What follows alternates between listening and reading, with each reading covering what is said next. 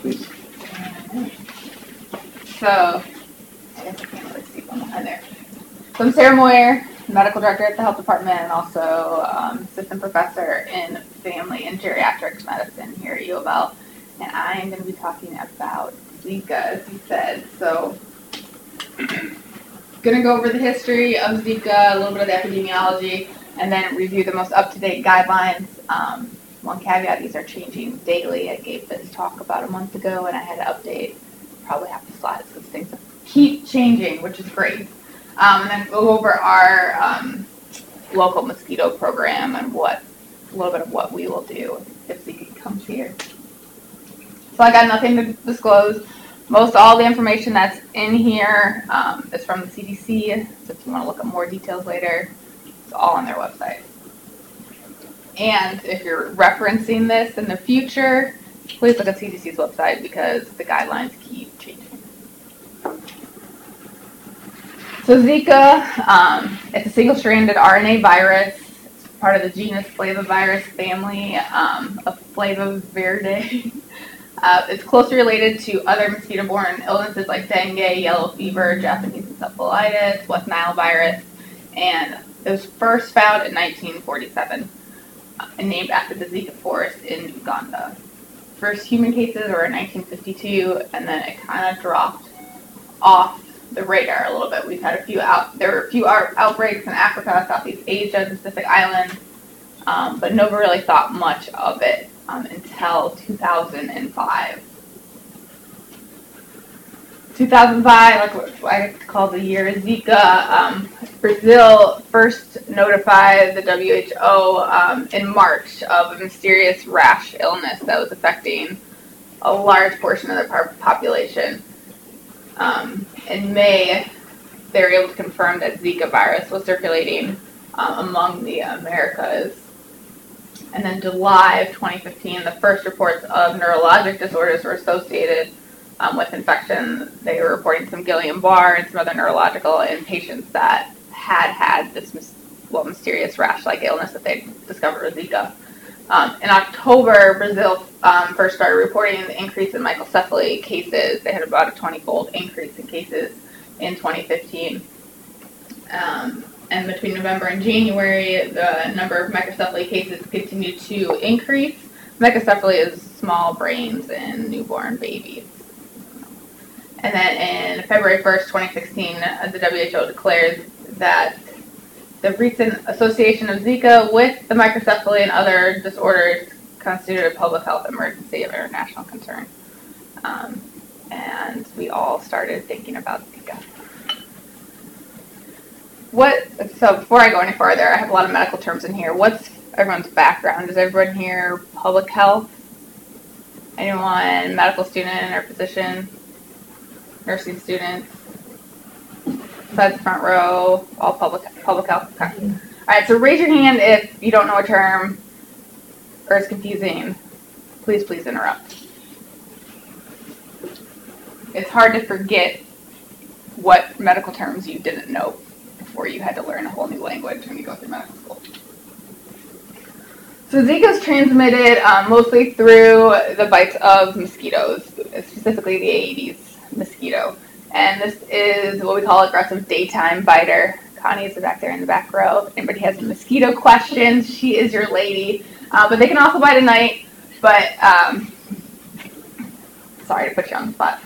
Uh, but mostly a daytime biter. And this is the opposite of West Nile mosquitoes, which tend to be more shade, evening biters, and malaria as well, which you think of as at dawn and dusk. The Aedes um, mosquito is more the daytime sunny mosquito. It can also be transmitted um, congenitally and perinatal, um, which means at the time of birth. From a mom that has a high, what we call viral load, she's got a high levels of infection, she can give it to her baby as well. There's also been reports of it being transmitted sexually um, through blood and then also lab exposure. And theoretically, we haven't had any reported cases yet. Um, it could be transmitted like organ or tissue transplant as well. Um, it has been found in breast milk, but there's been no reports of transmission, and um, they're still recommending breastfeeding. So where are these Aedes mosquitoes here in the U.S.? So the Aedes aegypti, which we know Zika is and right now, that's what's going on in all of Latin and South America, can be found mostly the southern U.S., southeastern U.S. Aedes albopictus, which is the a cousin of it, um, is all the way up here in Kentucky, yeah, most of the eastern U.S. We did have the Aedes aegypti in Kentucky in 2012, um, and but not this year that I know of. Uh, but we do have the Aedes albopictus all over our state.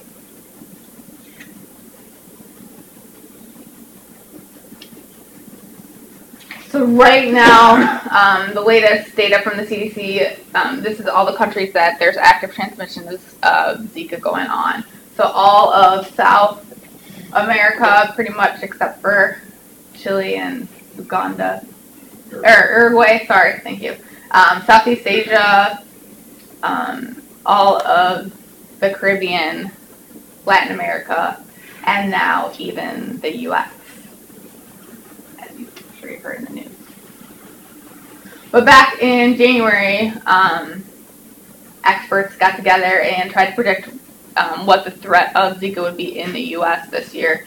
And they uh, mapped it out according to where that Aedes aegypti mosquito has been found, and then also the cities that have the biggest um, import of immigrants, people who traveled to countries that had active Zika transmission back in January when they were doing this map.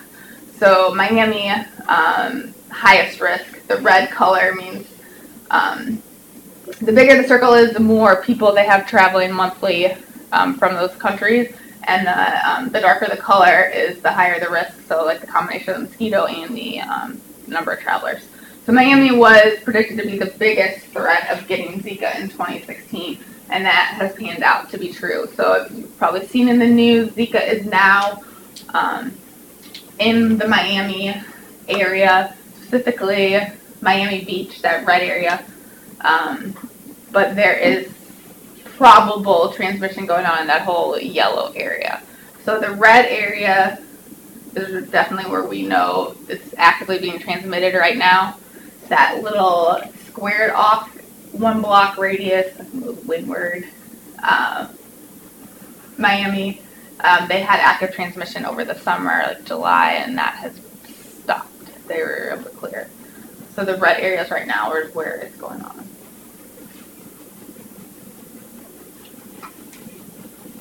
So as of October 19th, we've had 4,016 cases, um, confirmed cases of Zika here in the United States. Um, 137 were locally acquired, so those are the cases coming out of Miami and majority of our cases are travel associated, the 3,878. We have we've had one lab case, 32 sexually transmitted cases, and 13 Guillain-Barre syndrome. Guillain-Barre is a neurologic disorder um, that basically kind of paralyzes you, um, and you usually have to be on a vent until your muscles recover and you can breathe again. Um, very serious complication, but um, we haven't had any deaths yet from it. The U.S. territories, the territories this includes Puerto Rico, um, the U.S. Virgin Islands, has had 27,000 cases, and majority of them, that number's wrong, it's a little bit less, um, are locally acquired. Only 88 were travel associated, um, and they've had 48 cases of Guillain-Barre. That's your question. Uh, pregnant women we are tracking pregnant women a lot more closely, and um, the U.S. and D.C. have had 899 cases as of October 13th, and the U.S. territory is 1,927 confirmed cases.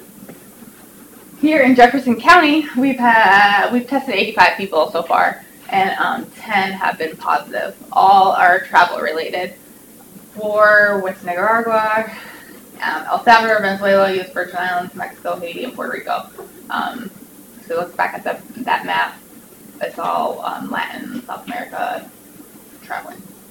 And only one pregnancy. So what, what does Zika look like? Um, the main symptoms are a fever, um, the red eyes, pale skin with a rash. Um, some people get the muscle, small joint aches, um, and headache and diarrhea are less common. So not nothing super specific. Um, and what complicates it more is most infections are asymptomatic, meaning that the patients don't even know that they've been infected with the Zika virus. Um, they don't know that they're sick. And those that are do get sick, it's very mild. Um, hospitalization is really uncommon with Zika. Um, it's kind of like the flu or cold. Um, you get better in several days to a week. Um, and fatalities are rare too. So this is why we first discovered Zika in what 47 that I mentioned before, and it dropped off the radar until we started seeing that um, association with microcephaly. The incubation period um, is three to 14 days. So if you've traveled or gone to Miami and got bitten by a mosquito, um, that that two week window is when you don't have could not have symptoms and then develop it. So if you travel to uh, we'll say Mexico two months ago and today you come down with a rash and red eyes, it's probably not. So other things that are associated with Zika are microcephaly and congenital anomalies, Guillain-Barre, you mentioned, and then other neurological syndromes like brain ischemia, transverse myelitis, and meningeal encephalitis, big medical words that I cannot say, and thrombocytopenia, which is low platelets. Um, but the differential um, is huge. Dengue and chikungunya are probably the two um, other most common ones because these are actively circulating in those Latin American countries as well right now. Um, but these patients tend to be sicker. Um, if you look at the clinical features trying to compare Zika um, to dengue and chikungunya, the fever is a lot worse in dengue and chikungunya. The rash is probably a little bit worse than Zika. Um, but dengue is the big one that we have to rule out um, because the, the, big reason is um, it's contraindicated to give NSAIDs, which is your Advil, Aleve category of medicine to anybody who has dengue because it can worsen the, the hemorrhage symptoms that they have. And so Mary can tell you that everyone that we test for Zika also gets tested for these other viruses as well, so we can confirm that it's not one of them. Question? No question? Not yet. I have a question about the lab but you're getting there. I'm getting there. I want to know about false positives. Okay. So general labs, um, if someone comes to their to your office, well, not your office, they come to my office. They're very non-specific. CBC is pretty much as normal. Um, maybe some mild lymphopenia, neutropenia, um, and maybe some thrombocytopenia, which is just low, low, different levels of those. Inflammatory markers um, are mildly elevated, just means that they're sick. So nothing, nothing that tells you that they actually have Zika or something else. Um, so testing, um, we recommend you work with the health department. I guess LabCorp and Quest now are also doing it, but um, call us and we will walk you through if you think um, you you have a patient that has Zika or you got a friend that traveled there and you want them to get tested. You know, someone who's trying to get pregnant. Work with us because um, right now the CDC is just recommending testing for people who've traveled to an area of Zika and have symptoms consistent with with it. So you come back from your mission trip and you've got conjunctivitis and a rash, a fever. Let us know, let your doctor know, and we will test you for Zika. If you travel and come back, don't have any symptoms, but you see you got a mosquito bite, um, unless you are pregnant, right now we are not testing, and that is because of the the tests are all new, so we didn't start developing tests for Zika until this last year, and so there's kinks are being still worked out, and so we CDC only recommends it if you have a high pretest probability that it's going to be correct. So that's people with symptoms and history of travel, or they've had unprotected sex with someone who's confirmed to have Zika, because Zika can be sexually transmitted. Um, right now, we're testing the urine and the blood. None of you guys are physicians, but that are seeing patients. But we would just two tubes of blood and one container of urine. Um, the big thing is all pregnant women should be assessed for possible Zika exposure at every visit.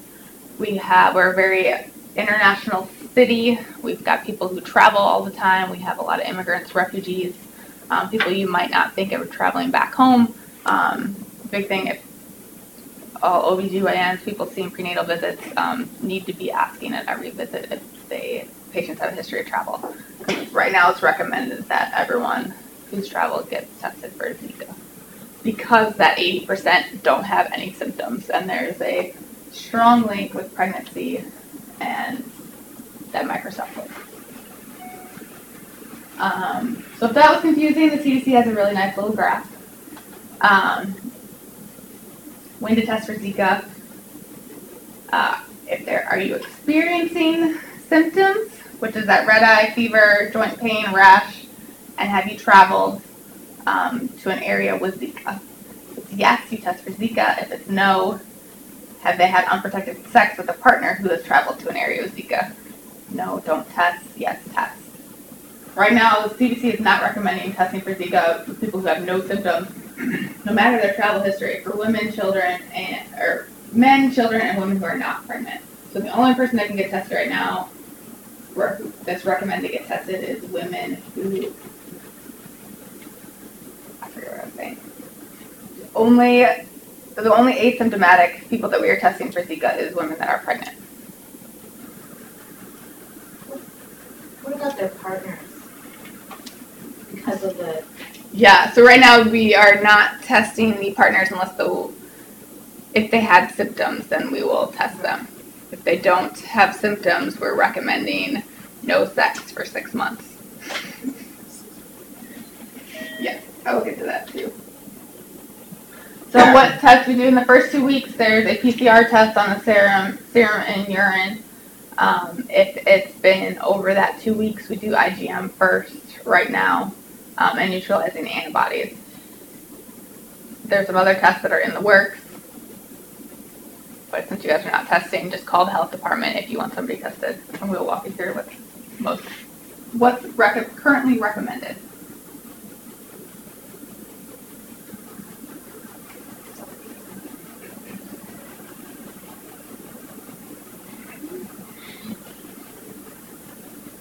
Does that answer your question. No.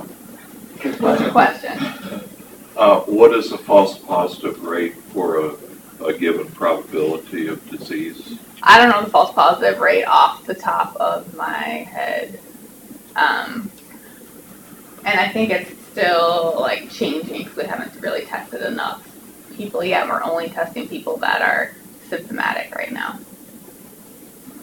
A- To And really have those numbers. you, you have multiple tests listed here. So if one is positive, you know, do you go in a sequence and order more tests before it's called confirmed positive or Yes. not? Um, so if we can test in the first two weeks after the start of illness, I think the PCR is the only test we do, and we consider that being done. If they're we're testing it later for some reason, if the IgM is positive, then we send it out for the neutralizing antibodies, and we don't consider it positive until the neutralizing antibodies come back Right. positive. Um, the serology for IgM can be positive if um, they've had other associated viruses, dengue, chikungunya, etc. And, and how long does it take for the neutralizing antibody test to come back? A long time. Um, we've got one pregnant patient that we've been what waiting. I want to say four months for everything to come back. Yeah. The PCR test we can get back in about a week. Yeah, the PCR test right now through the state's been about a week.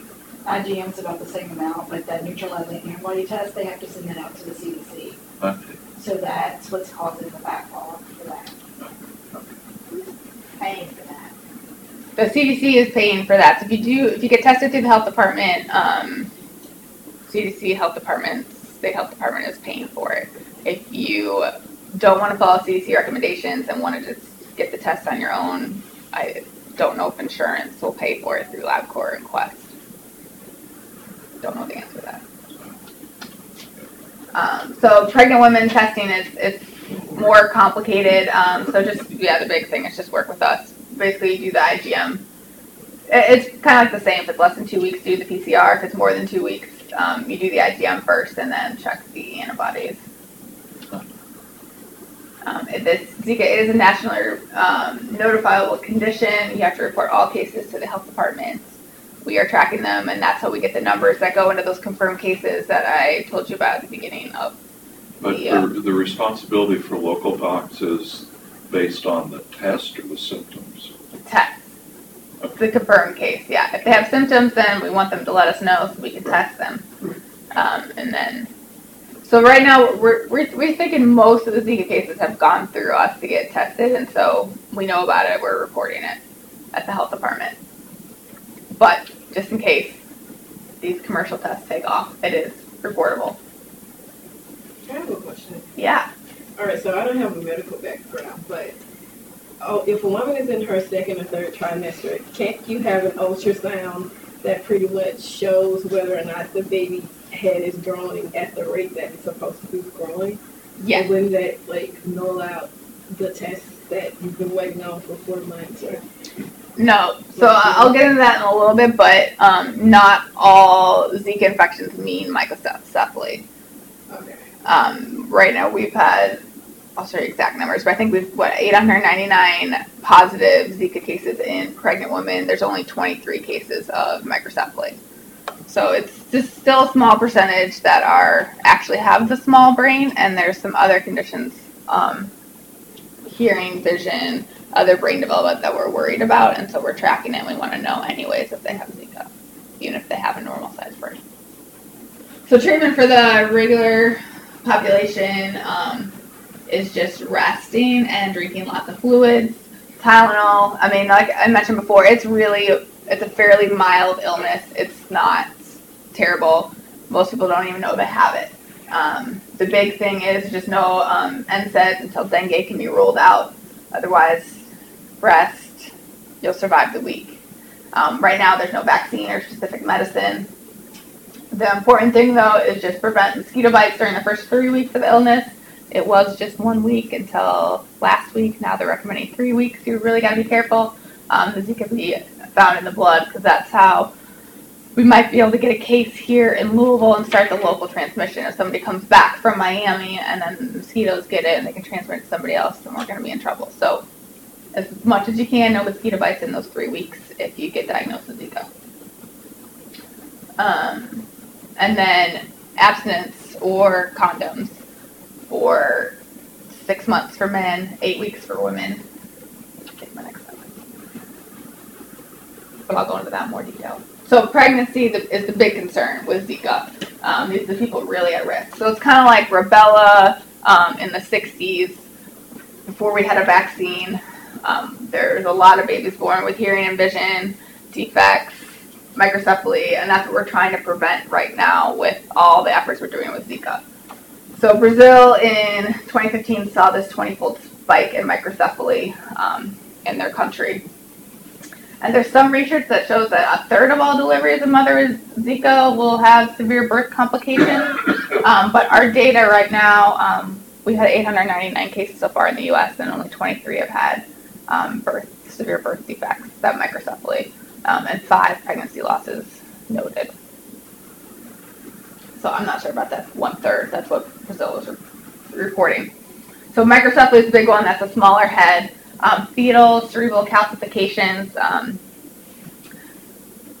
it's just like white spots you can see in the brain on those ultrasound, the, the calcifications, and then other central nervous system um, alterations.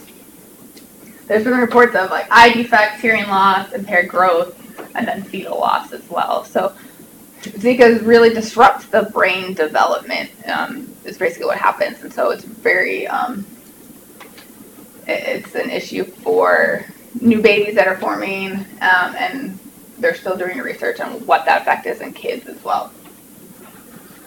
So I can get a sense of, of odds ratios, relative risk, if you know, uh, either here or in Brazil, you know, what the average rate of microcephaly, you know, is. Um, so here it's 23 out of 899. Right, but this, this is Zika exposed, right? No, this is Zika confirmed cases. Right, and I'm asking uh, about Z, uh, births to moms with no Zika. Oh, what the, okay. Yeah. Um, I don't know that number off the top of my head, but it's a lot. Well, Um, so they had a 20 fold spike in Brazil, um, where it's Zika's kind of an endemic, Yeah, yeah, so yeah. I'd say about 20 times. How's the risk of microcephaly and Zika infected when compared to um, cytomegalo- cytomegalovirus? Yeah, so there's been um, a lot of people are like, why don't people care as much about CMV as we do about Zika right now? Because we're, we're still seeing microcephaly cases because of CMV. Um, I'm not sure exact numbers, but um, it's still it's still a big risk, a, a risk, and it's probably on a population health. There's probably more babies right now in the U.S. being born with CMV related issues than Zika.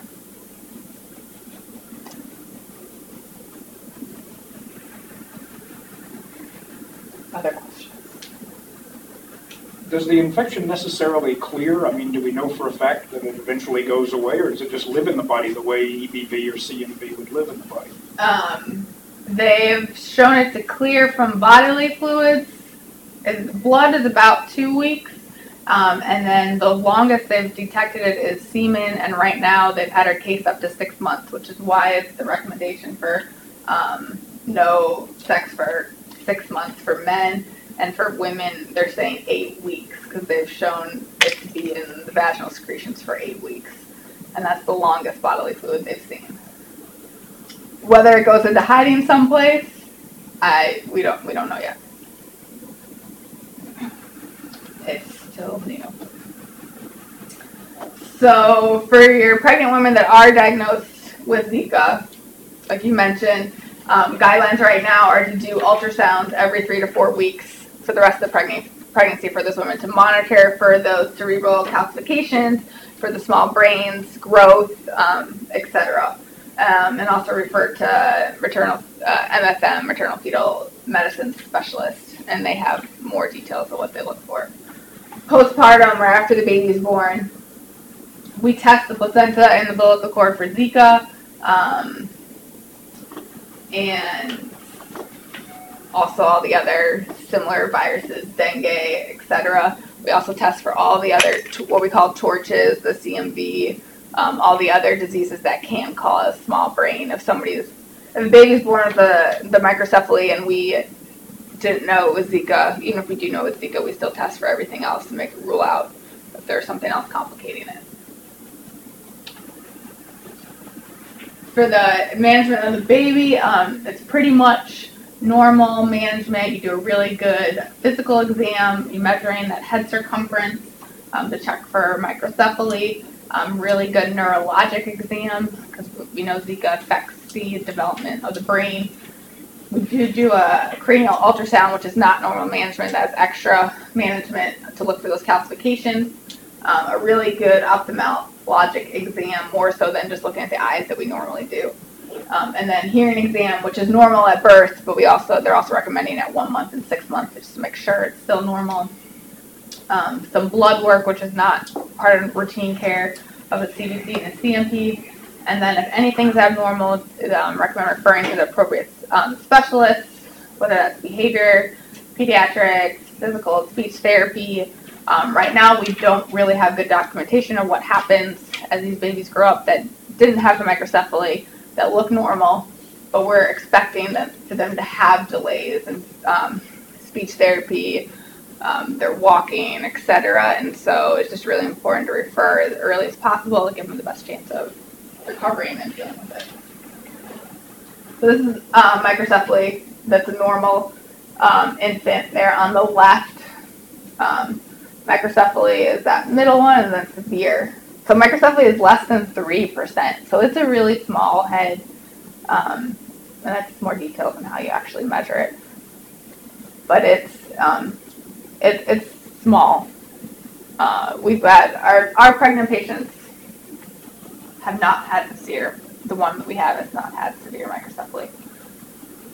It is concerning.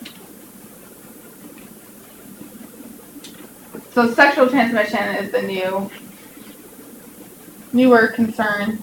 Um, it, there's about 30 cases so far in the U.S. It's been documented male to female, female to male, um, and includes everything: vaginal, anal, oral sex, sharing the sex toys. So they're recommending all that.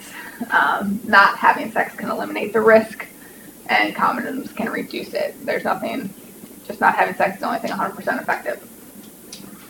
Men, um, at least six months they're recommending. They've found Zika in the semen up to six months, and women at least eight weeks. Um, and like I mentioned before, it stays in semen longer than other bodily fluids. I don't know why, but that's what research has shown.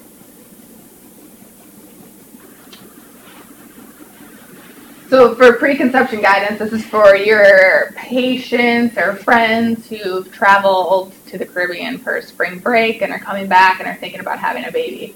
What do we know right now? We're recommending um, talking to them about it, telling them about Zika, and then to wait for women to wait um, at least eight weeks after they get back before attempting to conceive, even if they have no symptoms. Yeah, can, can Zika be asymptomatic? Yeah, 80% is asymptomatic. Okay.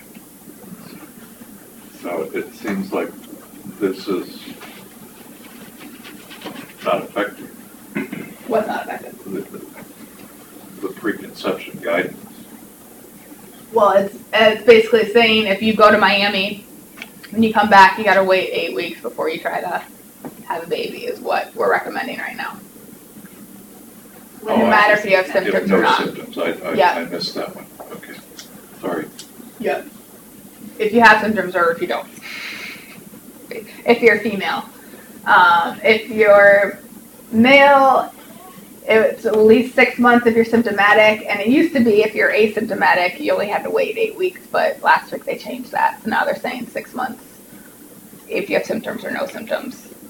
So they, they keep changing these? They keep changing it and they keep extending it, which is the really worrisome thing. And so it's really hard to advise patients when they're actually in your office. Um, right now, we think that if you get Zika this year and next year you have a baby, the baby's going to be fine, we think. But we only have a year and a half worth of research to know that. And so we don't know what happens to these kids long term. And so, really, the best thing, if I mean, you just have to weigh the pros and cons if you want to get pregnant, if you want to travel, what risk are you worth? What what's the risk worth to you? Um, and time's only going to tell what's going to happen. So, let's say a couple goes to Germany and they come back and they don't want to have to wait six months to, you know, do anything. So, can't they just say, well, can't we just get tested? Or what, what would you say, Lucy? Can't we just get tested right now and then we'll know? Yeah, the problem is the tests are new, and so we don't know that the sensitivity and specificity of the test. So if the test is negative, it's hard to, as a provider, I won't be able to know, tell you for sure that that negative means it's negative or if that's a false negative. And so right now they're not recommending testing because it's hard to do anything with that test result. And they're not testing semen. They're not testing semen yet, no. Just research wise, they are. Yeah. And still, tests are all new, and so it's hard to know if that test is the semen test is negative. Is it really negative, or is our test bad? So yeah, it's it's tough. And then if you live in a okay, so basically right now travel guidance. If you're pregnant, no traveling um, is what the CDC is recommending to any of those countries on that map with the orange. Um, if you must travel, you live there, protect yourself from mosquito bites is the big thing. Um, men and women of childbearing age, um, afterwards, condoms for six months. Um, and then all everybody else, there is no travel restriction. Just recommending mosquito bite protection. Some people, I've had a lot of questions about Guillain-Barre. What's the risk? Um, it's it's really small. I mean, it's like less than all the other viruses we get here, and so there's no travel restriction right now for non-pregnant people or people that are trying to get pregnant. It's okay, but still recommend mosquito bite protection.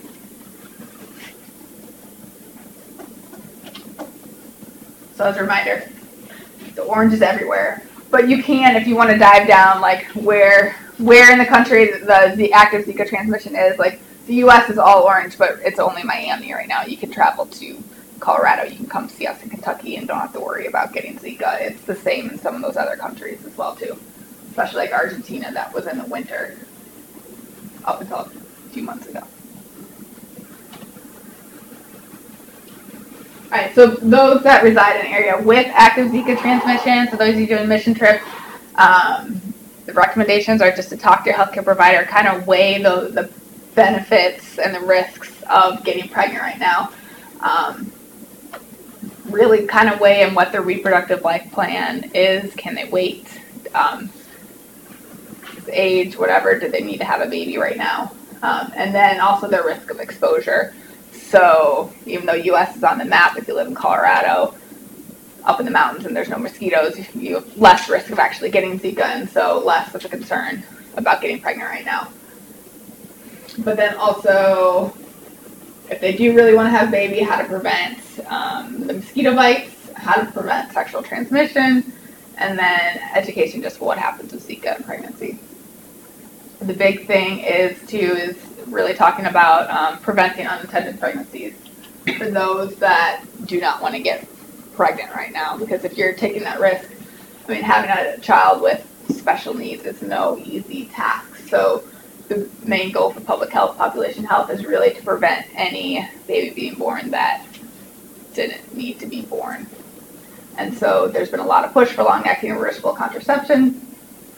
Puerto Rico's doing a lot of work with that.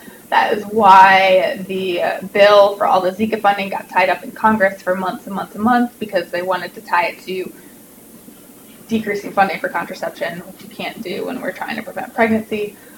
Um, with Zika, it's one of the only tools we have um, in preventing the microcephaly cases. so that's a big thing.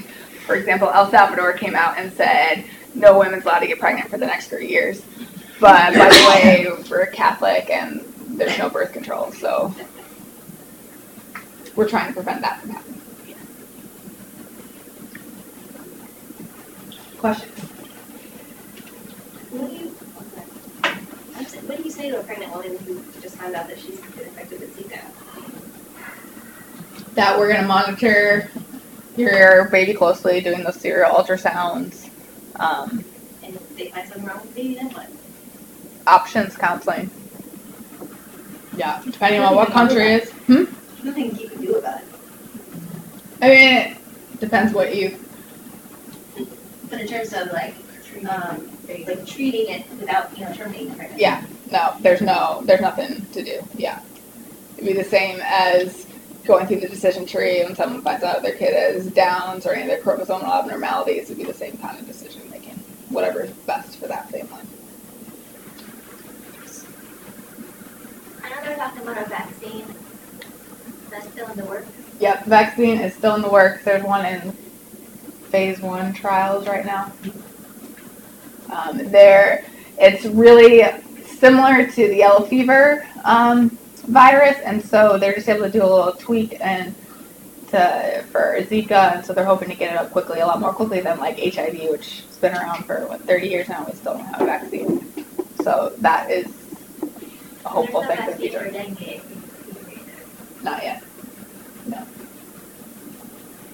So, how would you um, convince someone that this is a bigger issue than CMV? Like, why are we more concerned about people not getting pregnant because of Zika versus other viruses that cause similar issues?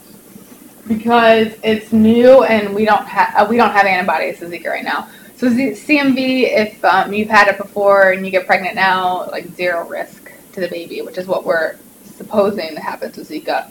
But right now we have an entire country that's not immune to Zika, and so we have the potential that anybody who gets pregnant can have the microcephaly cause it. So in a country that has endemic Zika, Mhm. how likely is it to be contracted by a traveler who is not immune? Is there any information on that? Say that you say So, that like- again. Like it's endemic, it's been around for a Yeah, while, yeah. locals aren't getting sick. Yeah. But people are traveling there. Are they, is the viral load high in the mosquitoes to give it to new people, or is it not doing anything? I mean, No, the travelers are getting it still. So I think, I'm guessing, I'm thinking like the microcephaly cases of the Brazilians is dying off because they're all become immune to it, but we're still having the travel-related cases here in the U.S. of people coming back. So how long does it take a country to get immune to? Depends on their mosquito season and how many people get infected. Yeah, we, we don't know yet. Haven't been around long enough. Are, are there cases of microcephaly, you know, maybe in Brazil or, or other places wh- where the mother gives birth, we know that it's a Zika-related microcephaly. She gets pregnant again, you know, is she more likely to have a, a kid with microcephaly again? No, right now they're showing that there there's no microcephaly in like the second. So right now it's the hypothesis that it's kind of like the CMV that kids Right. stay. Same with like the rubella, we make sure they're not immune. We give the vaccine at birth, so to prevent against next pregnancy, Nice. mom having it. But that is today's hypothesis. We I don't know if that's gonna be true. Yeah. Among those twenty, was it twenty-three cases in the US? Uh, what trimester was the Zika identified? I don't know the answer to that. There's been um, some studies that show, most studies are showing that um, contracting Zika earlier in pregnancy is worse.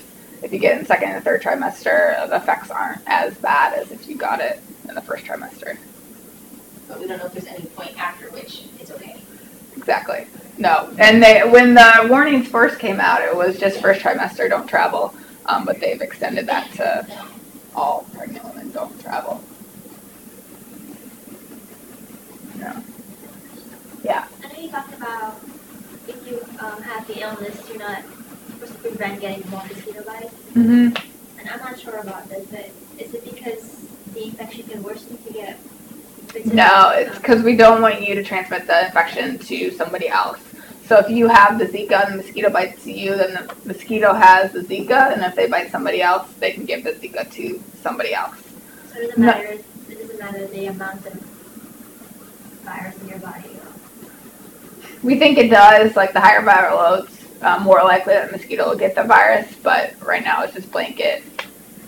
Protect yourself from mosquito bites so we can prevent the transmission to other people. Yeah. So to prevent mosquito bites, use an EPA registered insect repellent. That's the DEET picaridin IR3535 oil eucalyptus, para, menthane-diol, 200, a lot of chemicals. Um, if you most um, insect repellents now will tell you if it's like on the bottle that it prevents against West Nile and Zika. It's been a huge advertising for all the, the companies. But make sure you look, make sure it has the DEET or the picaridin or um, if you want something natural, oil of lemon eucalyptus is the has been proven to work. Um, do not spray under clothing, just spray it on the skin that is showing. And if you are out in the sun, which you are in most of these countries um, that have Zika, apply the sunscreen first and then put the insect repellent on. And not don't use in kids under two months. The oil, lemon, eucalyptus, you're not supposed to use in kids under three um, as well, but the rest of them you can use up to two months. And that's mostly because it hasn't been studied and nobody wants to study it. But it's probably okay. Um, the big thing is for kids, put it on your own hands and then put it on there. Avoid around their eyes, avoid their hands. They're not eating it and putting it in their eyes. It's a big thing. Whatever else is fine. Um, wear long sleeve shirts and pants. Protect your skins. You can spray your, spray your clothes with permethrin. And then, um, as much as you can, stay and sleep in places with air conditioning, window screens, etc., away from mosquitoes. Even though this is that daytime biter that we're talking about. Um, the other big thing is remove any standing water around your house because that's where the Aedes mosquito likes to breed. It can only travel about 150 meters, so um, if you have the mosquitoes, it's because you have a problem in your yard with standing water. I'd like to point out the repair job on the leak, you know, uh, out in the back, you know, where they've shunted the water to near the downspout, but it's like this far away. And there is standing water there all the time, you know, uh, from the repair job. I have communicated with the team about it, but we've made a, a Zika garden, you know. Zika garden in your own yard, yes. Probably true. So um, Louisville's been very fortunate in that we've had a active um, mosquito control program since the 1950s. Um, I did not know this until I moved here, but Louisville used to be a big swamp that they drained, especially the inner, like inside the Watterson, um, was all used to be swampland, and that's what we're living in. So we have had to keep up our Zika control program um, since the 50s whereas a lot of other cities, especially across Kentucky, um, across the U.S., have not had an active Zika mosquito control program um, in recent years. So every year um, in the spring, we identify um, persistent areas of standing water, probably not behind this building, but those swamplands, any all the catch basins with the sewer system, um, we treat with larvicide um, to control to prevent the baby mosquitoes becoming adult mosquitoes, basically. And that's like really the best way to prevent it. It's much safer, um, easier way than fogging. Um, and then after that, after we treat all those catch basins, um, we put traps um, all across the city in areas we know have a lot of mosquitoes. Um, and in areas where we get a lot of complaints from citizens about high area mosquitoes. So if you have a lot of mosquitoes in your yard, you can just call Metro 311 and we will get the complaint and we will test the mosquitoes. Um, so the trapped mosquitoes are sorted and sent to our lab across the street, which identifies um, if the mosquitoes are carrying Zika or West Nile, um, West Nile, St. Louis encephalopathy, um, a bunch of other ones. We test them for disease. And if they are positive, um, and there's areas if they are positive, we that is the areas we then decide to go and fog. So this year, last year, um, I think pretty probably pretty much every year since 1999, we've had a lot of West Nile um, in Louisville. It's pretty much endemic across the entire city, and so when those pools start becoming positive for West Nile, we go out and fog. Um, and we fog with approved pesticides. We fog after dark or at dawn to prevent um, harming the bee population. If you want to know where all we've fogged, there, there's a link there. We'll take you to our website. Uh, so this is last year's mosquito density. Those are the areas where we found to have high mosquitoes. Um, I live right in the heart of that. So um, that's areas where we, target those areas to pre-treat treat with that larvicide and then um, throughout the year when we get high numbers. If we get high numbers or we get disease, that's where we go and fog.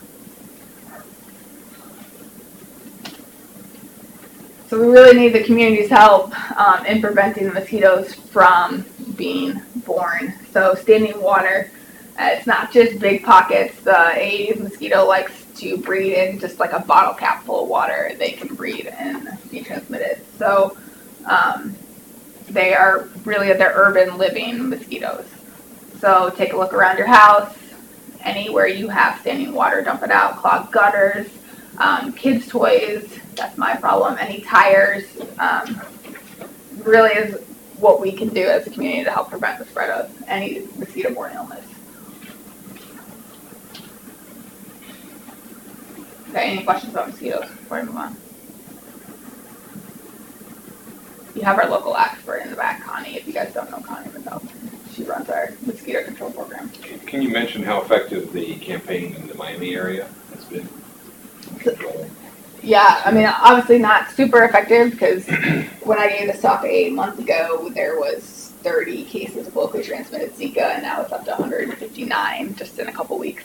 Um, but they are doing the same thing. They're tr- doing the, the larvicide, they're doing the fogging, they're doing more aerial spraying, more fogging than we are. Um, and they're doing a lot of community involvement trying to get rid of standing water. Yeah. Um, I think I talked about, well, we talked about this in one of my classes about genetically modifying mosquitoes. Yeah, they're still doing experiments on that. Basically, they're making the the male mosquitoes sterile so they can't reproduce, and so in one generation they would die off. Um, but they're having trouble getting it tested because nobody likes genetically modified anything. Um, that's all I know. Do you have more? No more? Yeah, I think that they're not producing, or at least it's not a viable offspring. So um, they've done, I think, some small limited trials, but there hasn't been large releases of the juvenile mosquitoes. Also, I was just like, I heard it to be a conspiracy theory, but like, that they use these like pesticides and larvicides that supposedly cause them to microcephaly. Yeah, I saw that too. I don't think it wasn't proven to be true. Yeah, it was a conspiracy theory. I mean, it, it's hard to tease out because right when they had all these mosquitoes, they realized it was a mosquito-borne illness. They probably did all the pesticides and everything to try to kill them off, and then still more babies are born because they're we didn't get rid of Zika. But um, the initial studies show that that's not true. It's just the Zika.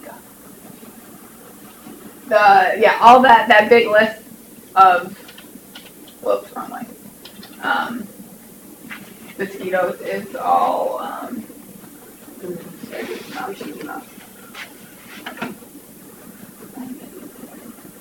it's all been safe, deemed safe, safe by the EPA to put on your skin as well.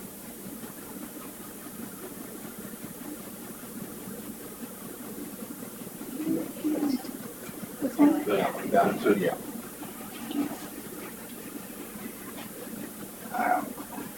So yeah, so lot, lots more research is coming. So the NIH um, is tracking all those women that have been pregnant with Zika. Um, they've got about 10,000 pregnant women in Puerto Rico, Brazil, Colombia that they are tracking through pregnancy, first year life, so we can have more details to know, like, yeah, is the risk greater in the first trimester, second trimester? What happens to those babies that are born with normal sized brains? Um, how do they develop? And they are hoping, now that they got that funding from Congress, they're hoping to have um, ongoing, observe the ongoing health of these kids and see what the effects really are. Um, CDC is monitoring all the outcomes in the U.S. of Zika infected mothers. Anybody um, that's tested positive for Zika gets put in the Zika pregnancy registry, um, and CDC is closely monitoring all those moms and babies. Um, just checking out developmental milestones, hearing, visual, future, future mental illness are all things that they're expecting to be um, worse in these children. So the NIH and NIAID are have a vaccine entering phase phase one clinical trials right now. So hopefully in a year or two we will have an effective vaccine. Um, and they're also working on better tests and quicker tests, so you don't have to wait months to get results back. Um, they're working on a four-hour diagnostic test as well. And then um, at the end of September, the Congress finally approved funding um, for Zika, and a lot of that goes back to paying the public health emergency preparedness cooperative back for all the money they've already spent on Zika. Um, CDC, NIH, um, the public health emergency fund, all getting more money, and then um, a big chunk is going to Puerto Rico that has the majority of the cases in the U.S. just to help them with the healthcare services and this basically generation of children that are going to have learning disabilities, visual, hearing disabilities as well. Um, and really just see what happens because we don't know all the answers yet. What if an infant is infected with Zika? It, I cause? We don't know yet. So the initial studies show nothing, but we don't know if that affects um, brain development, if they'll have future learning problems because because of it. And so they're really just pushing mosquito bite protection um, in all all kids, anybody with brain matter that is still growing. So we can't say for sure that it's a zero risk to the infant if the mother's infected. There, because it could be long-term effects. Besides having microcephaly. Yes, we don't know yet. Yep, we've got one year of data because um, we didn't start looking at Zika as a bigger issue until 2015, 2016. And the past case, the cases in the past, like when we first found Zika, there was no microcephaly involved with those cases already. It was in the middle of Africa that has a lot of other health issues, and so it wasn't big enough that it made national news. There was an outbreak in I think French Polynesia back in 2013 that they've been able to look back at now and prove that there was microcephaly, but it wasn't high enough that they noticed back in 2013 before we made the Zika link in 2015. Um, yeah, so it's hard to go back and look too. Um, is there any type of um, contact tracing that's being done? Like, for example, like in Miami, you said so now it's being locally transmitted. So, it's not the travel requirements, then how do they start testing more people? How do they find out if there's even more people infected than what they think? They're testing everybody with symptoms in Miami. But And- symptoms are like flu symptoms, so. Yep. So it could be bigger? It could be bigger than, be yeah, bigger than yeah, the the numbers we have are the confirmed cases, so that's the ones that have been tested and have a lab result. And to prove that they've had it, it definitely could be a lot more than that. But they, they're not Especially like Puerto Rico. tracing of like partners or things like that. Um, they are like the sexually transmitted cases. Um, that's how they they're they're documented how the patients got it as well. So whether if they've traveled, they'll say it's a travel case. If they never left Miami and got Zika, they'll say it's a locally acquired case, etc. So is Your turn. safe to say that, um, there could be mothers who have given birth to babies having had Zika during pregnancy, but still not exhibit any birth defects in the children? Yeah, majority don't. Um, we don't see the birth defects. What I think it's twenty three out of eight ninety nine. I mean, it, it's still a small number, but it's much greater than before Zika was around. It's a risk, but it's yeah. Well, I guess, I'm, if there's eighty percent of the people that don't have symptoms, um, I mean, they would still be tested even if they didn't travel out of the country, or like, are there protocols for that? Because then you really want to know whether or not that person ever had Zika to begin with. Yeah, so right now, like in Kentucky, for pregnant women, we're testing everybody who's traveled. So if they have symptoms or not, we're testing them for Zika, for anybody who's traveled to somewhere that they could have gotten Zika. If they're pregnant, only if they're pregnant. So we, we're hoping to identify everyone who's pregnant with Zika so we can monitor them more closely. Even that eighty percent that's asymptomatic. So if they don't have any symptoms, we're still testing them. If they've been somewhere where they could have gotten Zika. What about in Miami? So Miami, they're testing every. I'm not sure what they're doing with the pregnant population right now, but they're pretty much they're testing everybody with symptoms. Time for maybe one or two final questions. I'd like to ask, uh, before the Rio Olympics, there was concern that people returning from the teams who visited there, went back to their home countries, might contribute to uh, increased local transmission. Has there been any evidence that that has occurred anywhere? Uh, except for Miami having more trouble, but it's hard to know because they get so many international people in every day. Um, besides that, no, they they decided it was safe to have the Olympics. That yeah, transmission was low enough that there wasn't a risk. Any final questions? Last question? You know, in the airport, sometimes when you're going to the country, they have like a health card you fill out. Are we doing that here in the US? And they separate you. I know last time when I went home, I'm from the Caribbean, Uh huh. it's like you had to fill out a health card and like if you had symptoms and then to go to a different line. Like all these like, I don't know. I haven't traveled okay. um, in the last Well, year. like you would here, do, do you do that here when you're coming back from a, so you get infected, you have to fill out any health information? I don't know the answer to that. Um, my guess is yes, if you had to do it before. Well, I had to do it in my country when I landed there. Oh, it made you fill out Yeah. that you weren't bringing Zika to your country. I think it was Zika. I think it was when we had like um, the H1 um, swine flu or whatever. Like we had all that stuff. They made us fill it out. But I don't know if they're, they have a health card for people coming back to the U.S. I, I don't know the answer to that. No. I've not gone on any trips lately. Okay. No. Very good. I'd like to thank Dr. Moyer for an excellent presentation. If you wouldn't mind, uh, there are forms there in front of you, if you wouldn't mind completing those before you leave, and you can hand those in to Colette Davis, who's over here, or leave them at the front table, whichever is more convenient. And uh, please, if you have not done so already, uh, sign the uh, sheet there at at the entry table, indicate your presence, that would be much appreciated. Thanks again.